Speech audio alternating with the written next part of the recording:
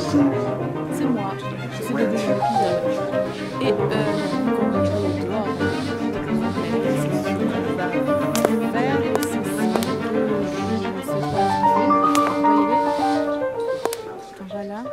Ce n'est pas encore le moment de rejoindre Watson. Je n'ai pas tout inspecté. Je fais ce que je veux. Euh, Est-ce que lui, il a des trucs à dire en plus? Ah, j'irai parler à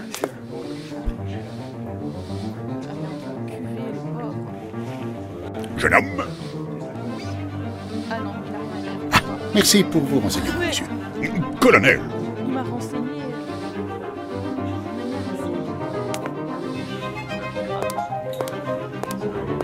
Monsieur? Vous connaissiez ce Français? Oh, un beau parleur, comme tous les Français. Il n'est pas revenu, je crois.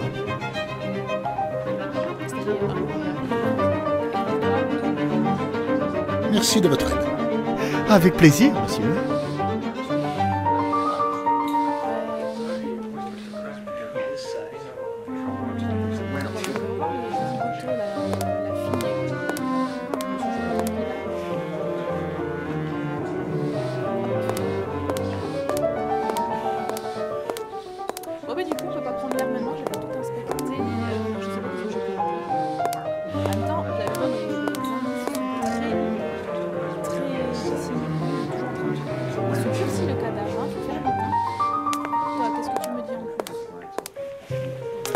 Ah, encore des questions. Eh bien, je vous remercie. De rien, mon brave.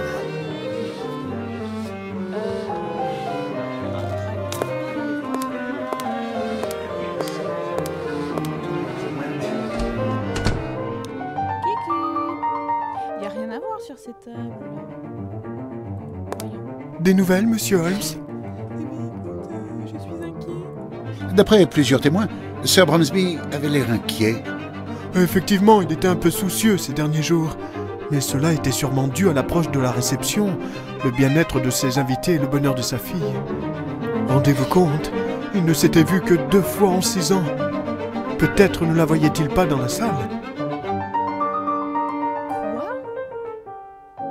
Soit j'ai mal lu, soit il voit sa fille que deux fois par an.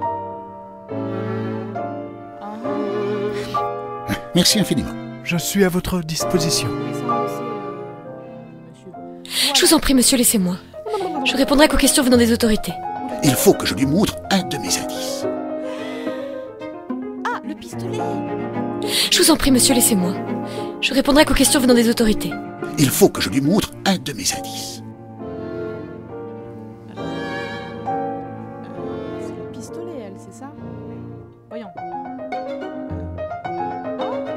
Miss, ce revolver est-il le vôtre? Mon Dieu! D'où tenez-vous cette arme? C'est mon père qui m'a donné hier ce pistolet à peine suis-je arrivé ici. Mon Dieu, que va penser la police? Bah, je n'ai pas tué mon père, grand Dieu, non! Je te donne cette arme afin que tu me tues. Pourquoi votre père vous a-t-il donné ce pistolet? Il semblait inquiet pour moi, comme pour lui, et il m'a dit qu'il m'expliquerait tout après la réception. Miss, si vous me permettez d'enquêter, Écoutez, monsieur Holmes. Monsieur Grimble m'a expliqué qui vous étiez et ce que vous faisiez. Si vous pouvez découvrir qui a tué mon père et pourquoi, je vous en serai éternellement reconnaissante. c'est entendu. Je vous laisse, Miss. Gardez courage. Merci, monsieur Holmes. Je me demande ce qu'a fait Watson pendant que j'inspectais la maison. Il a dû empêcher quiconque de passer par la porte de service. Soit vous êtes docteur, soit vous êtes journaliste. Si vous êtes journaliste, vous allez avoir besoin d'un docteur. Je suis le docteur Watson et croyez bien que... Le docteur Watson? Le gars qui raconte les aventures du grand détective Sherlock Holmes? Ça, par exemple. Oh, J'ai lu toutes vos histoires. Oh, un admirateur. Et vous, qui êtes-vous Je suis Lambe, cocher au service de feu Sir Bonsby. Mais dites-moi, il existe vraiment ce Sherlock Holmes hmm C'est-à-dire que je viens de le jouer actuellement. euh, oui, il existe. Puis-je vous faire confiance, Lamb, en vous confiant une mission d'importance? Pour sûr Pouvez-vous surveiller l'entrée de service jusqu'à ce que mon ami ou moi-même ne vienne? N'ayez crainte, si quelqu'un marche sur ce gazon, il aura affaire à moi, comme s'il avait marché sur mes pieds. On peut lui faire confiance. Cette porte est bloquée Oui, je l'ai fermé à clé quelques minutes, après la bousculade. Ordre de Miss Lambert, pour éviter les journalistes. Donc personne ne sortira par là. Et si quelqu'un vient du jardin, je le verrai. D'accord. Donc a priori personne n'a pris cette porte au moment du drame. Je vous laisse, Lamb. D'accord, je reste de garde. Reste de garde. Euh, donc nous jouons Monsieur Watson. Euh, donc cette porte apparemment est fermée, je sais pas si on peut l'ouvrir. Donc on peut aller par là.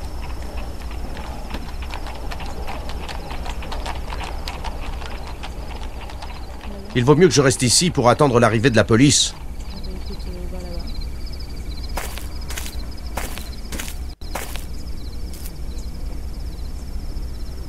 Ah, on va parler à la dame euh, de bonne humeur. Miss Lambert, je vous cherchais justement. Quelle tragédie? C'était terrible. Je ne peux pas croire que ce qu'on dit est vrai sur Miss Lavinia. Oui, je suis d'accord avec vous. Pourquoi avoir ouvert les grilles aussi précipitamment?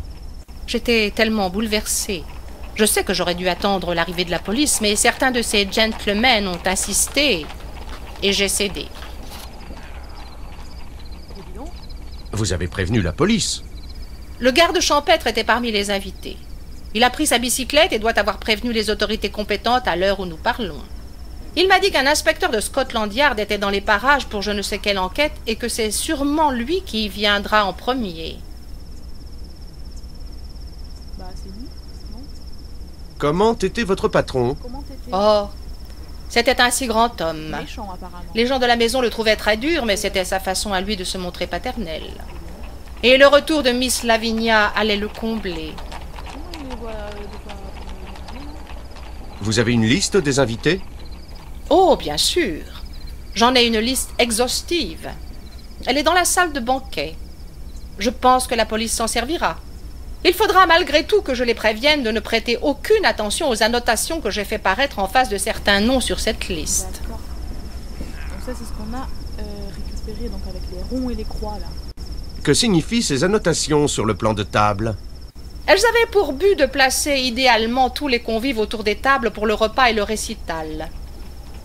Aux personnes que je jugeais les plus importantes, je plaçais un rond en face de leur nom. Et pour les autres signes? C'est Louis-Philippe, je veux dire, monsieur de la Musardière, qui m'a suggéré de procéder ainsi. Il m'a fait remarquer aussi que l'acoustique ainsi que la luminosité dans la pièce pouvaient déprécier la qualité du récital pour les personnes affligées d'une vue ou d'une ouïe un peu basse. Ainsi, les premiers étaient signalés par un point et les deuxièmes par une croix. D'accord, je comprends. Que savez-vous de ce français? C'est un Français d'origine noble qui a trouvé sa vocation comme maître d'hôtel. Quelle inspiration et quel sens du détail. J'avais peur que Sir Bronsby se formalise, mais il a modéré ses opinions sur la culture française au contact de son ami Horace Followett. Qu'a-t-il donc fait de si extraordinaire? Quelle aide il nous a apporté. Il s'est occupé de quasiment tout, des plats, des nappes. Par honnêteté, il a même refusé d'être logé ici et de percevoir ses gages avant la fin de la réception.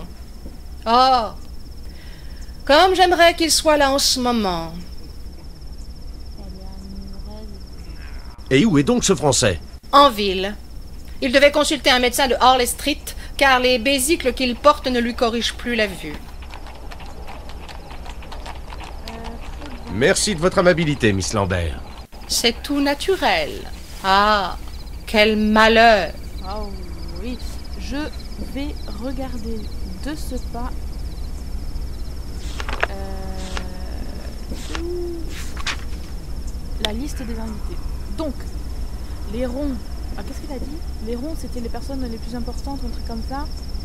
Les points, c'est pour les sourds et les croix, c'est pour les, ceux qui voient bien, enfin mal. Euh, donc je pense que ça a une importance. Ça me fait penser euh, au, euh, au colonel qui, qui voit que dalle, mais qui entend parfaitement bien. Il a une vue sur tout. Enfin, il a une ouïe surtout. Donc, colonel Patterson. Ah, mais je- ouais, voilà, justement, comme quoi, quand on parle du loup, c'est lui. Donc, euh, bah, il a dit que il était, il voyait pas bien, donc ça, ça peut être le point. Par contre, il entend bien. Du coup, je sais pas pourquoi il y a la croix. On a Ingalls, pareil, ça ne voit pas bien. On l'a pas vu. Miss euh, D'accord. Montcal, et je sais pas quoi. Ok. Ok, ok. Euh, parlons aux autres personnes. Monsieur, faut s'asseoir sur le banc. Mais qu'est-ce que c'est que ça? Il est en dessous. Allons. Bonjour, monsieur. Excusez-moi. J'enquête sur le meurtre qui vient de se produire à l'instant. Ah, ah, ah oui, ah bon, euh, que voulez-vous savoir? Ah ben voilà, merci. Il s'est relevé. Où vous trouviez-vous au moment où l'on a tiré sur Sir Brunsby J'étais près de l'estrade et je Oh, l'ai vu tomber, oh mon dieu J'étais pris d'une peur panique, j'ai couru vers la porte, mais malgré tous mes efforts, elle restait coincée. Bien, je ne vous dérange pas plus. Oui, non, c'est ça, c'est ça, merci.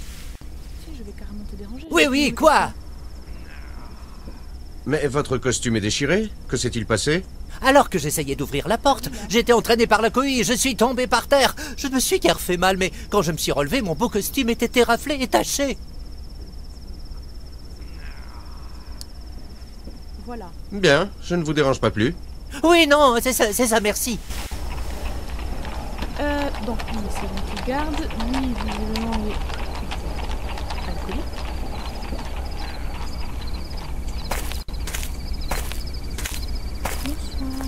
Dites-moi, mon brave, je peux vous parler Ouais, à votre service Ils ont été payés cher, les comédiens de doublage, ou euh, c'était gratuit? C'était du bénévolat?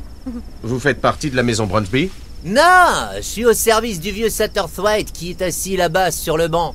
Il a même pas accepté une petite goutte pour se remonter. Toi, Sûr qu'il va pas bien. hein.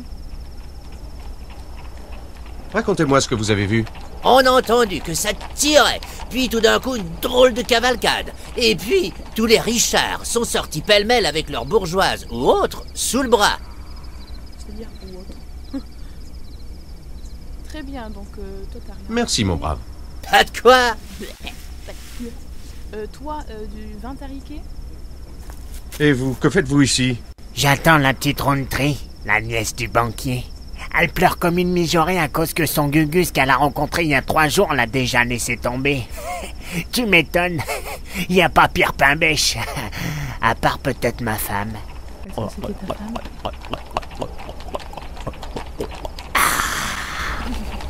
Le son n'est pas adéquat avec l'image.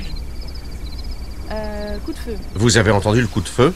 J'étais parti au bout du jardin pour me soulager. Vous comprenez? Il paraît que j'ai loupé une belle course digne du derby. C'est vrai? C'est quoi le dernier Bon, eh bien... Salut Il a le nez bouché. Je pense que tu devrais consulter euh, le médecin là. Toi, t'as l'air triste. Eh bien, mon brave, qu'est-ce qui vous amène ici? Je suis le, le valet du lieutenant Harrington.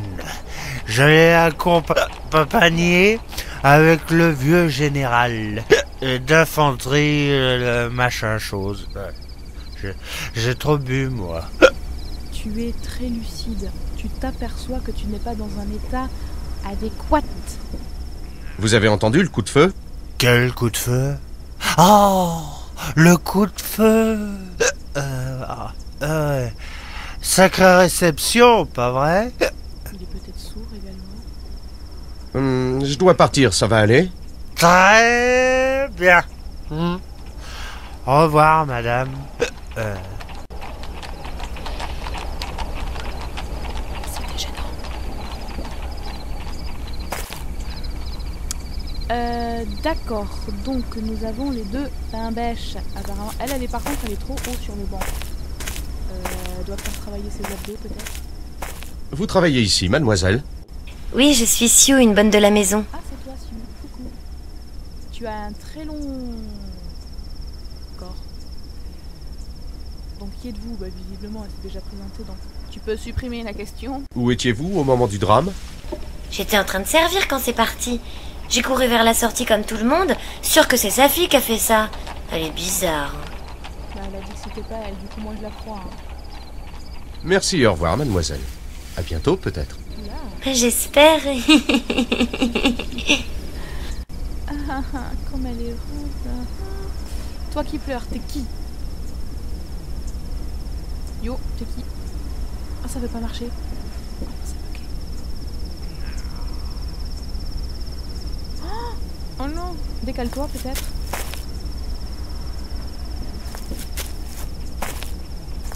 Vous étiez une proche de la victime Mais je me moque éperdument de Sir Bromsby. Je pleure parce que mon cavalier n'est pas venu.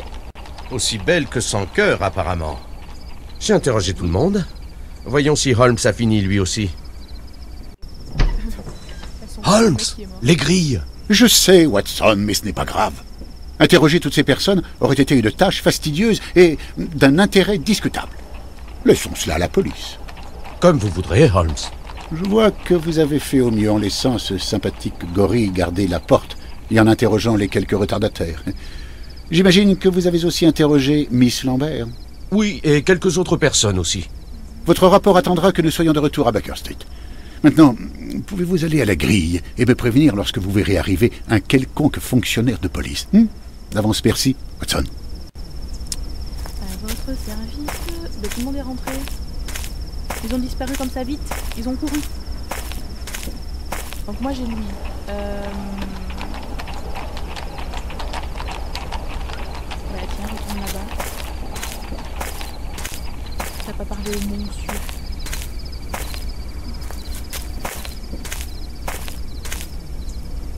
Il y a un petit truc par terre. Qu'est-ce que c'est J'ai besoin de quelque chose.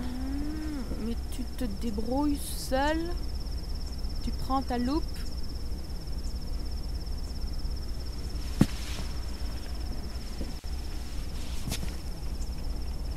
C'est quoi Attends, il y a un truc là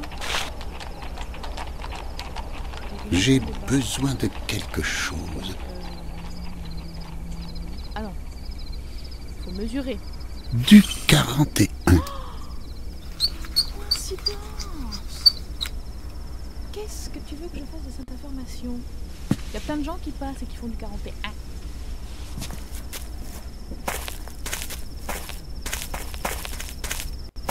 Et dis donc. Ah Un fonctionnaire de police. Holmes Bonjour, Lestrade. Votre célérité est digne d'éloge. Vous avez bien fait de vous hâter, car le cas est des plus intéressants et des plus ardus. Je pense, malgré tout, que vous pourrez être de retour chez votre mère à l'heure du souper. Par le diable, Holmes. Vous me faites surveiller? Comment avez-vous pu savoir que j'étais chez ma mère?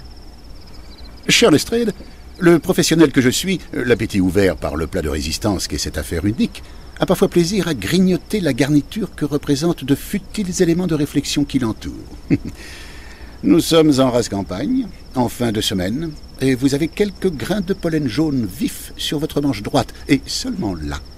Une rencontre galante aurait eu lieu à Londres, dont vous ne venez pas, vu le temps qui nous sépare du crime. J'en déduis que c'est une visite familiale ou amicale, avec son lot de fleurs fraîches qui vous a fortuitement rapproché de Sherringford Hall. Les fraîches taches de graisse assorties que vous avez au coin de la bouche, ainsi que sur le morceau visible du mouchoir qui sort de votre poche, me laissent penser que vous avez englouti avant son heure une tranche de roast beef. Qui peut faire avaler une tranche de viande froide à un policier alors qu'il n'est pas midi et qu'un crime vient d'être commis, si ce n'est sa mère, pensant avant tout aux terribles heures de jeûne qui attendent son enfant Eh bien, Holmes, vous avez fait fort. Quant à l'affaire Bronsby, qu'en pensez-vous? Un cas unique, comme je l'ai déjà dit. Mais toute supposition serait prématurée avant d'avoir le rapport de Watson, ainsi que le vôtre, si vous le voulez bien. Miss Lavinia Bromsby m'a pour ainsi dire engagé, bien que je pense qu'elle ne réalise pas encore la portée de ce geste. Lestrade, vous trouverez la victime à l'intérieur, et je vous enjoins à contacter sans tarder son homme de loi, Monsieur Horace Follett. Miss Hudson nous cuisine un bar demain à midi. Si vous êtes des nôtres, nous pourrions partager nos découvertes. Qu'en dites-vous hmm? Nous partons, car un long travail m'attend Baker Street. Vous venez, Watson? Retournons à Baker Street. Bah. Ah Oh, On peut se déplacer sur la terre. C'est fort bien. Tiens, va à Baker Street. Oh, c'est beau. Ça se voit que c'est Londres. Hein. C'est très beau, c'est... C'est des belles briques tout ça. Hein. Tout est scrupuleusement consigné, Watson. Bravo Ces éléments nous seront d'une aide très précieuse. Quant à moi, je vous ai tout raconté, et je ne peux en dire plus avant de recevoir les réponses aux messages que j'ai fait porter par Wiggins tout à l'heure. Je dois de plus maintenant me tourner vers mes petites fioles pour y trouver la vérité concernant quelques éléments bien mystérieux que j'ai trouvés sur place. Je vous conseille en attendant de regarder sur l'étagère les quelques volumes qui s'y trouvent. Les informations qu'ils contiennent seront d'une grande utilité pour la résolution de cette affaire. Il faut que je consulte trois livres sur l'étagère. Voyons voir. C'est-à-dire trois livres au pif là comme ça? Bah tiens. Euh.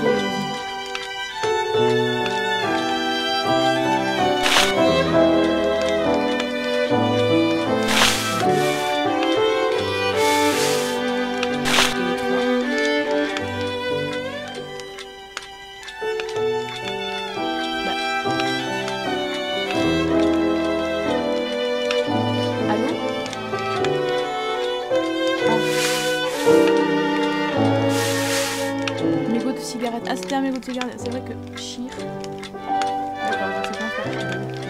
Euh, par contre, tu me demandes. Ah, c'est ça Ah, faut que je lise. Quel enfer.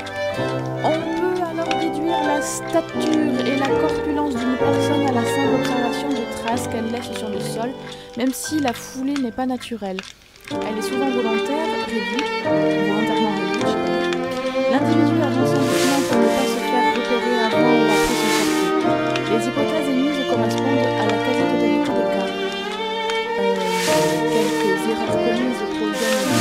du fait que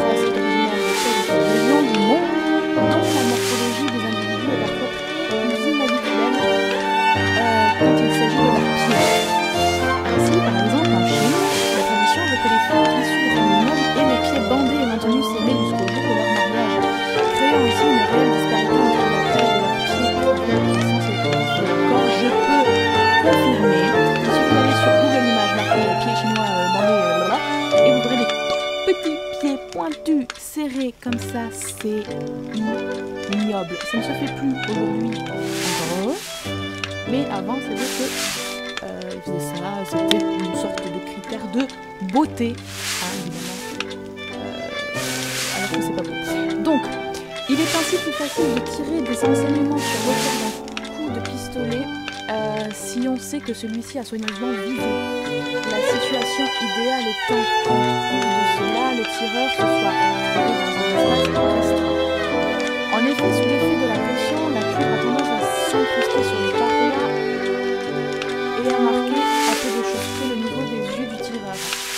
Il vous suffit alors d'ajouter une quinzaine de centimètres et vous aurez une idée de la stature du tireur à 1 ou 2 centimètres. Ah. Donc en gros, toutes les traces de Attends, est-ce que c'était de la poudre à canon sait pas. Euh, ok, ça, ça... Ça informe pas mal. Donc ça, c'est les tabacs du monde entier, ok. Euh, et c'est avec la bénédiction des autorités que cette herbe locale est mélangée aux feuilles de tabac dans les manufactures de cigarettes. La plus connue étant la grande maison Chiripaki, donc ça c'était bien le mégot, là on le voit, le mégot de cigarette. Euh, ce tabac si particulier hors du Brésil, voire même hors de cette région proche de l'Amazone, car d'aucuns considèrent les effets calmants de ce tabac comme euh, comme un facteur significatif de baisse de la productivité, autant industrielle qu'agricole, des populations consommatrices. Ainsi, si vous croisez comme moi un paysan brésilien assis sur, sur ses terres, regardant avec indifférence un vol des tourneaux piler euh, des graines à un mètre de lui, vous verrez ses pieds un de cendres floconneuses, si de ce tabac. C'est. D'accord,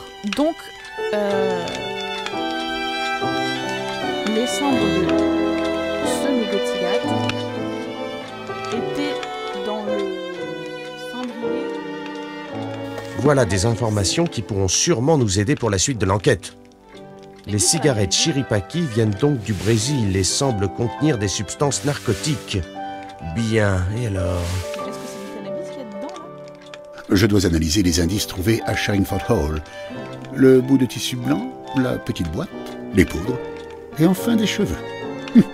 Allez au travail. D'accord. Et bien ça, c'est ce qu'on verra euh, la prochaine fois. Ça nous fait une